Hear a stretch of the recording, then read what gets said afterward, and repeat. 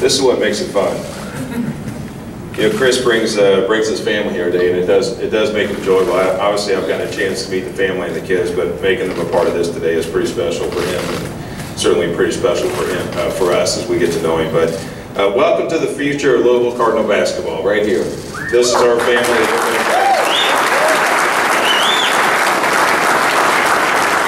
Today is, is certainly a, a, new day for us and, and, a brighter day, and we're excited to have Chris and his family uh, join us. I'm certainly excited to introduce him. Uh, I don't have to introduce Christy to the city, but certainly don't have, really feel I have to introduce Chris to our program. He certainly knows that, and uh, um, and I and I think that us having uh, the kids here, Haley, Laney, and wherever Braden is now, He's probably searching something out. We welcome you. It's, it's great to have you guys here, and you're going to get a warm reception while you're here every day the rest of your career and when you retire here. Um, you know, I'm also equally uh, excited about all that they bring, that their family brings to our basketball program, the athletic department, and our community. I mean, I think about this, the university and community, this is this is what we want. I explained to our uh, ULAA board and our board of trustees that this is a family that fits. Chris is a coach that fits what we want, and there's a number of reasons why, and I'll get to those, but we're, we're terribly excited to have him here. Uh, Chris knows basketball and has excelled in his career both as a player and as a coach. He's worked his way through this from coaching uh, high school women's basketball or girls basketball to where he is today as a, and being introduced as the head coach of an elite basketball program here at the University of Louisville. His nine years as head coach at Xavier produced terrific success. His 215 wins are the 11th most in the NCAA of any coach in their first nine seasons of coaching. He joins the ranks in the likes of Roy Williams, Jamie Dixon, Mark Few, Thad Matta, Sean Miller, and one of our own, Denny Crum.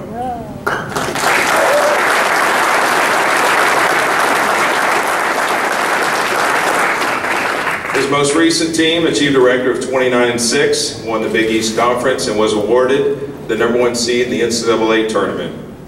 We now have the number one seed in both women and men's basketball at the University of Louisville. Chris has been honored uh, with the uh, 2018 Big East Coach of the Year, the NABC District 5 Coach of the Year, and became the all-time wins leader in Musketeer history. The team finished number three, ranked in the AP poll, so we got to see him quite a bit on ESPN and uh, other channels throughout the year. But also in 2016, Chris won the Henry Iba Award for the U.S. Bas Basketball Writers Association as National Coach of the Year, when his team received the number two seed for the NCAA tourney and was ranked number five in the AP final poll. Chris has guided uh, Xavier to the NCAA Sweet 16 or better in four of his nine years as head coach. And I think he fits a number of the things we looked at in terms of the criteria. So when we were in search of somebody that embodies the, the key criteria that can not only honor our past but embrace our future, he hit on many of these points, if not all of these points. We had criteria to meet on and off the court. The person has to want to be here and here only. This person has to love everything that the City of Louisville and the University of Louisville represents and has to offer. This person has to become a key part of our community going forward. This person has to represent the highest in integrity in athletics and in life. This person has to be competitive and a proven winner. You get where I'm going with this. This person has to attract talent to not only fill the scholarships, scholarships but to fill the staff positions. This person has to respect our legacy of winning basketball and those that played a role in our success. And thank you, many of you are here today. I know Chris appreciates that we have like feelings about the legacy of this program. This person has to be comfortable with high expectations to include replacing two lost banners with new ones. We're in agreement with that. This person uh, has to have all these qualities, and that person is sitting on the stage today. I'm going to give him a treat that matches my history with his, which is what we do in this town. The Cards fans, please join me in welcoming our, our next men's head basketball coach University of Louisville, Mr. Chris Mack.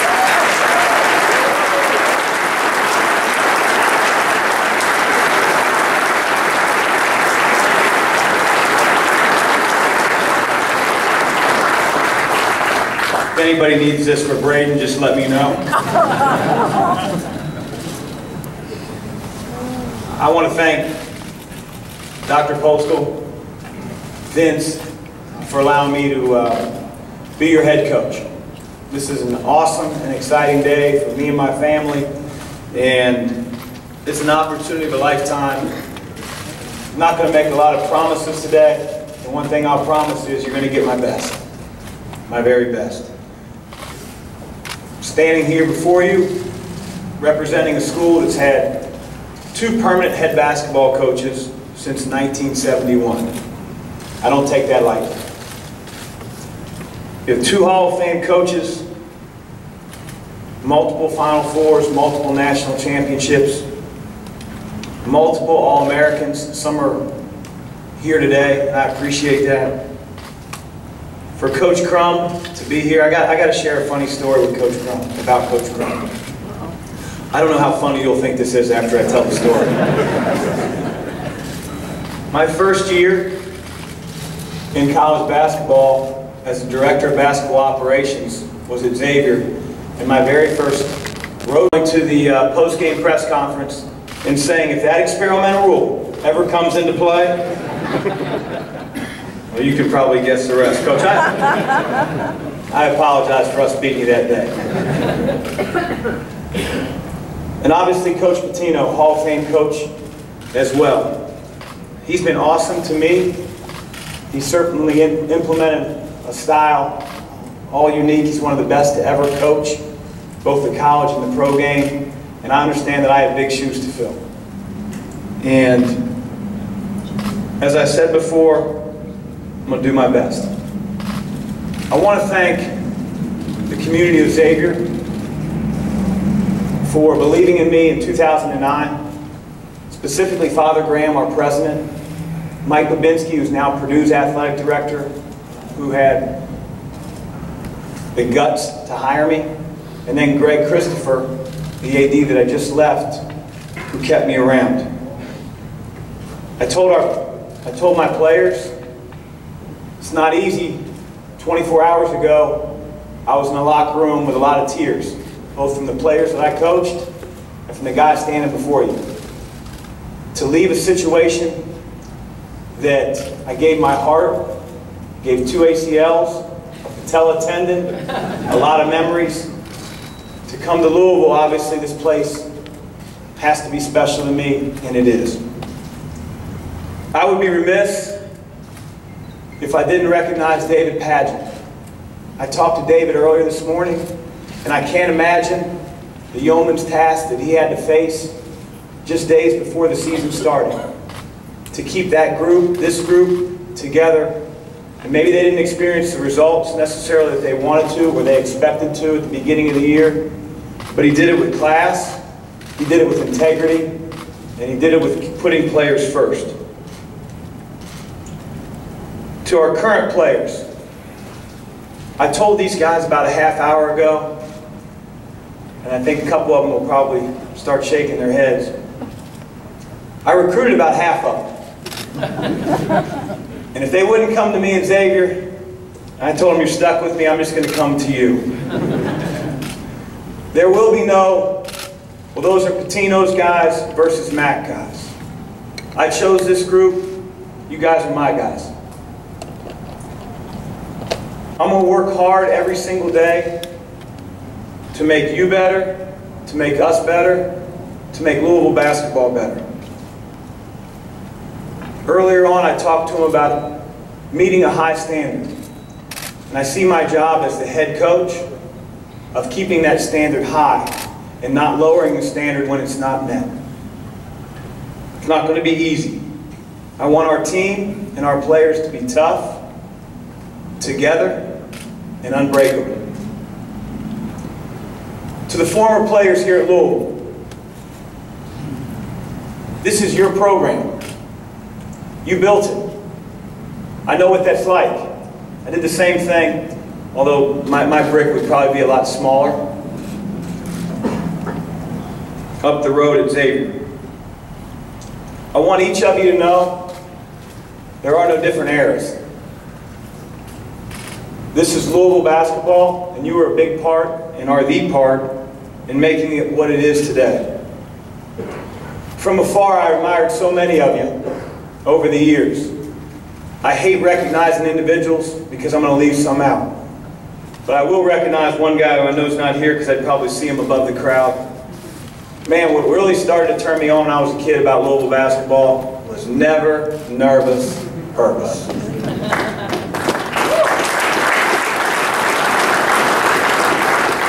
Dr. Duncan, stop. I, I better stop because there's a lot of guys in this room. I want you guys all to know that you're always welcome. You don't need an invitation because that's what this is. To stop in and practice, to come to a game. At some point, when my wife picks out our house, you'll all be welcome over there as well. To the Louisville fans, Card Nation, and all the people in this community that have supported this program for so many years. I know these past few months have been unbelievably difficult. They say the darkest clouds elicit the brightest lightning bolts. That lightning bolt is coming. It's not me, it's those guys. It's time to turn the page and start building something special once again. I urge you, fill the Yum.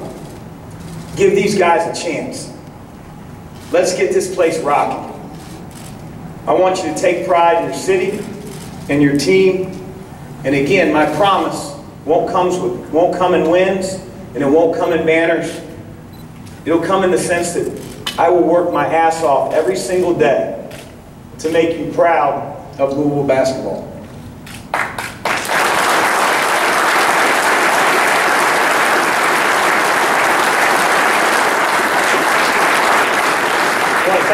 people that, I brought with me. You know, coaching at times can make you an absentee husband and a uh, absentee dad at times. You'll see me, I try to blend. I don't try to balance, I try to blend my family life with my professional life. First to Christy, did, did you guys know she's from Louisville? my rock, my best friend. Oof. She, um, she bleeds cardinal red. I want you to know that's not the reason I took the job. Thanks, babe. To my girls, Laney, my oldest, you want to stand up real quick, Bugs? I call her Laney Bug. You can sit down, Laney. want you guys to know, she's going to cry every game we lose. And when you're getting into your teen years with your daughter, you don't want them crying, so trust me. Let's not lose. She's invested. I mean, we walked off the floor at Xavier the other day against a, a very good Florida State team, maybe the toughest loss I've ever had with a team that I was so invested in. And um, she couldn't stop crying, you know, well after our guys quit crying in the locker room. And uh, that's how our family, that's how our family rolls. Haley, you want to stand up? This is my crazy, competitive, heart of gold, middle child. Hale, you can see, okay. She'll be the one that's dancing at games and um, loving Louisville basketball like we all will. Braden around? He's back there. I told our guys, Braden, get ready. I don't think Louisville is ready for Braden Mack. If the band director is here, Braden will be super excited because every game I watch on my computer when I'm watching film at night, he comes over, he starts staring at my computer screen, he said, Daddy, where are the instruments? so Braden, I think they have a band here at Louisville. My mom and dad, who are here as well, Tom and Bonnie, forever grateful for their love and support. Just like a lot of you that played youth sports, my dad was my coach, gave me a lot of life lessons that had nothing to do with X's and O's. One of the lessons I'll never forget, and um, so I was a soccer player. I wasn't a very good one, but I was a soccer player. And we had played a particular team and tied. And the other team was terrible. I apologize. You know, Groesbeck, they, they, were, they were terrible. We tied the game, and as the final seconds are being counted down in my head, because you had the guys side, well, two minutes, one minute, I knew that the game was going to end in a tie, and just as it ended in a tie, I picked up the ball, teams were going to shake hands, and I punted it as hard as I could up in the air. And before the ball landed, my dad had grabbed the back of my arm and very forcefully said, get in the car, bub. He taught me a lot about sportsmanship, playing to win, shaking the other guy's hand after the game when you don't. Thank you. And then my wife's parents, Danny and Debbie, who have been unbelievable supporters of mine, have done everything that they can uh, to be at every one of their games that made their commute a little bit easier rather than coming to the Cintas. And just for the record, they don't have season tickets to Louisville basketball. Yeah. I want you to know a little bit of who I am and why I'm here, but I want to also make it very clear, and I told our players, it's not about me. It won't be about me, it's about them.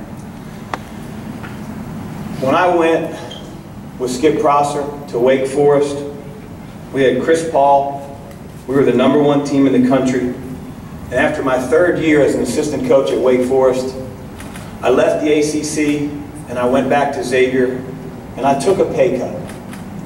I went from Wake Forest as a third assistant to Xavier as an assistant and I took a pay cut. And there were a lot of people, a lot of colleagues of mine that said, man, he's crazy. Why would, why would you leave what was arguably the number one preseason team in the country to go back to Xavier? But I did it for different reasons, and I did it because I followed my heart. When I went back to Xavier five years later, I was named the head coach at my alma mater. It's been an awesome ride for nine years. Lots of head coaching jobs over those nine years have presented themselves. And if I listed those out, and some were very, very public at times, there were a lot of people that said, why wouldn't he go there? He's crazy. So when people say, why Louisville? He's crazy. I'm never afraid of a challenge. I'm, I'm never afraid of a challenge. I faced so much adversity during my playing years, I shared a little bit with these guys. Started both years at the University of Evansville. I left, I transferred, I sat out that tough year that Steven Enoch sat out this year where you practice with the team. You don't get to wear a uniform, you have to sit out. And then my first exhibition game, in the, in the first year I'm eligible at Xavier, I blow out my left knee. Eight seconds into the first exhibition game. So I sat out the entire year, two years in a row. So I'm getting cited for my fifth and final year, rehabbing like a son of a gun. And in the summer league, after I got released, I tore my other ACL. And that personal experience was maybe the toughest I ever had to go through, both as a player and as a person. And I didn't know it then, but I know it now. I'm not afraid of adversity. It's going to hit, it's how you handle it. I learned during that time, thankfully, because Coach Prosser gave me a book after my second ACL. The tough times don't last, tough people do. And I'm going to carry that with me for the rest of my life told these guys here, this is my final stop. You'll never see Coach Mack coach at another university or an NBA team, high school team. I mean, for a second there with the board not getting everything in check, I thought I was going to have to be Mike Szabo's assistant at Trinity. As I stand before you as your head coach, I can't wait to get started with these guys. It's going to be a players first program. And with that, I'll take any questions that you have for me. And if you'll let us get a microphone to you, right up front, Jody. Chris, how difficult and when did you know this, you were going to do this? I think anytime you make a life decision, it's difficult. I will tell you that my decision making is always, always comes from my heart. And everybody makes decisions in life, be it small ones or big ones, in different ways. And what works for different people doesn't always work for others. If I went out and shop for a car, I'm going to one lot. I'm looking at the car, That's what I'm getting, and I don't care what, what the salesman has to say. I just know it's not worth my time to go to another lot, compare prices. And so with this, it was a very, very tough decision, but inside, I knew it was the right decision, and I made it. When you look at the program, just some general thoughts about what you see, some of the challenges, short-term and medium-term ahead in terms of reversing some of the negative traction and some of the positive traction that's occurred as well. Yeah, it's not my job to be the guy that looks backward. I wasn't here when a lot of the things that transpired have been written about, and I wouldn't have come here if I didn't believe this place can shine once again. A lot of people have taken the time to, to write all the different stories, and I, I'm not naive enough to think that won't continue, but my job isn't to look backward, it's to look forward, and I'm excited about that. If I felt it was too overwhelming to do so, then I wouldn't have, I wouldn't have come. Chris, has, has Coach Pitino reached out to you at all, and did that alleviate any concerns? I reached out to Coach. You know, I've talked to him twice. Um, he's been awesome. He had nothing but great things to say about the city of Louisville, Louisville basketball, the players that he recruited here, and his support of me. Tell me about this, this building. You've been in here before, maybe not for a game, but can you tell us about that experience? You, you can probably tell me a lot more about the building. You know, people around the country that follow college basketball, I would like to think they think teams are tough, both physically and mentally. And as I said before, I do want our team to be tough, together, and unbreakable. And over time, they'll learn our system, they'll learn, learn our terminology, they'll, they'll learn our personalities. And by the way, us coaches will do the exact same for our players. But I think, just to sort of put it in a nutshell, um, I would say tough together and unbreakable is how I want our team to be viewed. Chris, it- Chris? I can hear you. Okay. Chris, it, during your time at Xavier, it seemed like you really reached out to the fan base and wanted to kind of be visible with you and your family. During the, the times that, that this fan base has faced in the last six months, last couple of years, how important is that for you guys to be able to do this moving forward? I'm just going to be me. I don't know other, any other way. I, I know that the spotlight is brighter. I know the, um, the attention comes from more people. I want the attention to be on our players, but I'm not going to lose who I am because I have to be genuine, genuine in order to lead these guys. And so, somebody said the other day to me, um, you're, you're going to a place, ooh, a lot of, lot of, lot of negative connotation, and, and, you know, how are you going to? I just looked at him and said, hey, listen, I'm going to be me. I'm not going to post on Twitter any more than I did before. I'm not going to become more elusive. After games, I'm going to go out to eat. I know you think I'm crazy. I'm going to do it. And that's the only way I know how. I'm going to be me. Coach, uh, how much about the FBI situation were you told in the interview process, and did that deter you at all? I was told enough, but I'd also say, say that everybody in here, along with everybody in the entire country, doesn't have their hands around what is going to happen. You know, a lot of people, a lot of programs have been touched. It'll be interesting to see how it plays out. If it were a situation that would scare me off, uh, then I would have said something to Vince. He was very open, and he was very forthright in his dealings with both the NCAA uh, and what happened with the FBI. And um, again, we'll deal with it, whatever comes our way, and we won't be afraid of that. Chris, obviously, there hasn't been much time at this point yet, but how much do you know about the, the, the team that you're inheriting? Well, I know a lot. You know, I've tried to, uh, over the last three or four days, watch as much film as I can. Um, a company called Synergy, and you can watch anything you want. You know, I recruited a lot of these guys out of high school. Certainly, how you play in high school, um, it's a tougher job and tougher responsibility at the college level. But um, I know a lot, and uh, I'm certainly going to not claim to know everything or have all the answers, but that's what a working relationship's about. My job is to push these guys and find out what their dreams and goals are and try to get them to that. And I want them to know what my dreams and goals are, which is why I came to the University of Louisville. Coach, Coach Mack, um, I was actually on the court in '99, and I missed the steal when you, when you call that play. So I, I appreciate the coaching staff. How close are you to having a full staff right now? Um, I think there's a little bit of, of, a little bit of things that have to be played out a little bit back at Xavier.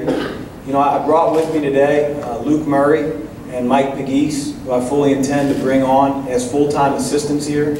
Uh, they're in the back of the room. You know, those guys have been with me every step of the way. Travis Steele, who's been my associate head coach at Xavier for the last nine seasons, is a candidate to replace me at Xavier. And, uh, you know, I think he would do an incredible job at Xavier. So whether Trav ultimately ends up being the head coach at Xavier, then that would obviously have some you know, ramifications for my staff. You know, certain support staff I'm going to talk to that have worked here and represented Louisville uh, the right way over the last couple of years, or however long some of these guys have been here, years and years. Uh, but I'm going to do them right, as will Vince. But ultimately, I have to be comfortable, just like any CEO would, and that's what you are when you're a head basketball coach in 2018. Be very comfortable with the people that, that represent me, that work with me, work with our players, and represent you all as the University of Louisville. Coach, what do you uh, hope to accomplish? What do you hope to accomplish your first few weeks on the job? Um, wow, that's, that's, that's a good question. A lot. You know, the first thing that, that we're going to do is work to establish as good of a relationship with we as we can with our players. Um, you know, we're going to set up individual meetings starting next week. I'm going to be on the phone with, with a lot of those guys, as will my staff. Talk to their parents, make sure that the current roster feels good about our vision for the program. And it may not match up. I told those guys, I'm not going to lower our standard, but if they want to be a part of it, I certainly want them to be a part of it. Why they chose Louisville is probably the exact same reason I chose Louisville, outside of Coach Pitino. Um, so, along with that, obviously hiring a staff, a coaching staff, a support staff, those will be my two main focuses as we move not only over the next couple weeks, but over the next few months. Yeah, Coach, you seem to genuinely enjoy the rivalry process there in Cincinnati and Xavier. But What is it? What comes to mind when you think of stepping into that Louisville Kentucky rivalry, and also, of course, the rivalries with uh, other teams in the ACC? Yeah, I can't wait. Um, You know, there's something about those type of games that get your juices flowing. And, you know, I know maybe people in this city uh, can't appreciate um, the Cincinnati-Xavier rivalry. So I see some of my local media from Cincinnati. The schools are separated by two and a half, three miles. And had a history of some incredible games and some incredible battles. And uh, I love being a part of that, both as a player and as a coach. And I'm not naive enough to think that the UK Louisville game isn't, isn't one of the best in the entire country. All eyes, uh, usually right around Christmas time. I'm usually sitting in my in-laws' house over in Shepherdsville watching the game um, because it's during our Christmas break. I'm excited about it. But uh, our season won't be one game, uh, but you can sure as bet we're going to be ready to go next year here at the Yum. Coach, you were talking about your early weeks on the job. How does being here kind of change your recruiting approach in terms of the type of players that you go after and, you know, just how much broader is it now? Well, we went after a lot of the guys that, that ended up here. So I don't know how much the profile will change in terms of, in terms of the type of player, type, type of student athlete that we want here at Louisville. Just think we'll be able to get a few more of them than maybe we have in past years. You know, I want guys that are very versatile. I want players that are competitive, tough, and embody some of the characteristics I talked about before um, that I want our team to resemble. But, uh, you know, I'm not naive. You know, it's going to take a special person, a special family to believe in this place, just like I did. And I think there'll be a lot of families, student athletes, prospective student athletes out there uh, that will. Back over here. Hi, Coach. Uh, Jason Wire, Vice President of the Bill and Student Section. Uh, Coach, what is your vision for our student section moving forward? And do you have any plans to work with students here to further build our culture? Absolutely. You know, I'd be foolish, Jason, to sort of give you a plan in my first hour on the job, but it's their team. They go to the University of Louisville. They're going to remember those four years, for some of them five, for a few of them six. They're going to remember that, their time, you know, coming over to the Yum, rooting for their Cardinals. And so I, I want it to be memorable. I want them to, you know, make that 10-minute journey. I want them to pack the Yum. I want them to, to feel a special sense of pride uh, about their university. And that's what we're going to work every single day to do. Whether I have to storm dorms or incite pep rallies, I'm not, I'm not scared to do that type of stuff. Yeah. How long have you thought about being the Louisville basketball coach? And then in the past week, when did it kind of click for you to, to take this job? When I was asked, you know, I've always had a fondness uh, for Louisville basketball. I don't think that's a secret. But at the same time, you know, my heart's been at Xavier ever since I was a player. And so uh, I wasn't auditioning uh, or reaching out for other jobs. I never would do that. You know, but when the opportunity came, it was one I felt like I couldn't pass up.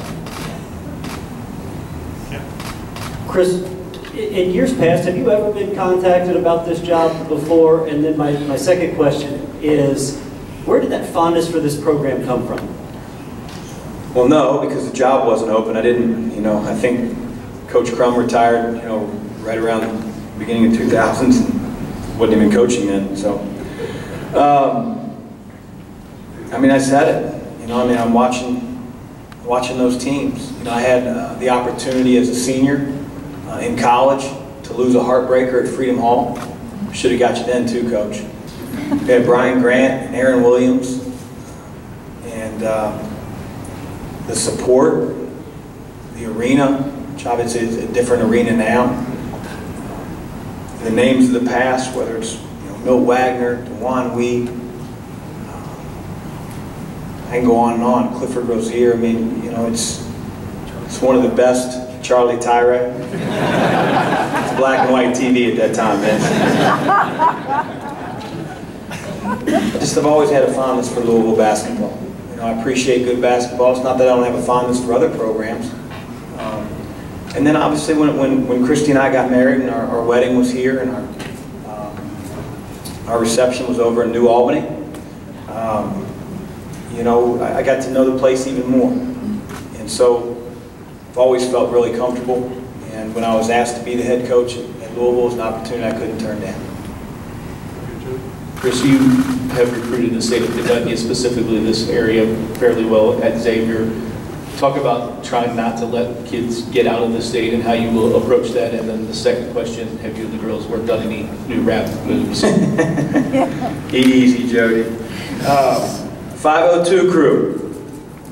You know, I, we always want to, we always want to start, you know, within our own city. You know, we always want to be able to, uh, you know, recruit high school players in the area that, bleed cardinal red.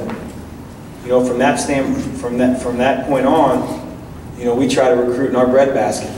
You know, which is a five-hour drive. You know, the NCAA rules the way they are. Uh, when a high school prospect is a freshman or sophomore, you, can't pay for his flight. You know, the, the, the ability to get to California and see a kid and come back is, is there are a lot of schools between California and here. So we want to be as good as we can in our breadbasket, establish relationships early with the student athlete and their, and their, their folks and their support people, get them to a game at the Yum, and then as time goes on, be able to uh, reel them in and make them a part of this thing. But we're always going to start with our home base first. The city of Louisville, you obviously have Indianapolis, Cincinnati, there's some major cities within an hour and a half, and then we'll just keep branching out. I, I recognize Louisville has an awesome national brand. And maybe it needed, needs to be polished right about now, and we're not afraid to do that. But we're going to hit some areas that, that we've hit when I was the head coach at Xavier, uh, with my staff who has their footprint in certain areas that they grew up in. You made reference to dark clouds over here, Chris, uh, hovering over this program, but the same could probably be said of the sport itself, college basketball. What kind of reforms do you want to see come out of Condoleezza Rice's commission, and what level of corruption do you see in the sport? Yeah, it's, um, well, it's, it's, a- it's a question I can answer for a long, long time. You know, I don't know, Tim, if I'm smart enough to articulate all the things that, and also have the ability to follow through with the things that, that maybe need to be changed. You know, I talked to my parents weeks ago about how Europe does it, club teams. And you don't really necessarily tie education uh, with athletics, but you know, we're way beyond that point. And so I, I don't have a great answer for you. I do think there has to be some type of representative, uh, representation uh, for athletes earlier on. Uh, because sometimes as players get to our level, uh, you know, they've been dealing with agents and talking to agents since they were 12 and 13 years old. And I don't pretend to have all the answers, but I think that would be a start. How, uh, Coach, how vital was it for you to have a full-time AD, whether it be Vince or somebody else, now it's Vince, a full-time AD, not an interim athletic director? How big of a deal was that for you? I mean, it's, it's huge. You know, nobody wants to go to a place that's on, um, you know, shaky, a shaky foundation. And, you know, spending the time that I did with Vince on Saturday, uh, which by the way was a long time, he said three or four hours, and that turned into eight or nine. Yeah, it was worth it. You, you know, you promised that I'd make Haley's volleyball match, so I got to the last one. Uh, but, you know, I just, um, I don't know, I feel like this place is special, and you, you, you need that stability, and I have it with Vince, and, and uh, you know, he's, he's awfully smart. He hasn't necessarily worked in athletics, but also I think you know, smart people understand maybe where they have to grow as well, and our vision was the same. He bleeds Cardinal red, I know that. He has a love for this place, the community, and the university, and that's what you want. You know, you want synergy with the guy that you're going to be going to battle with every single day, and I have that with Vince.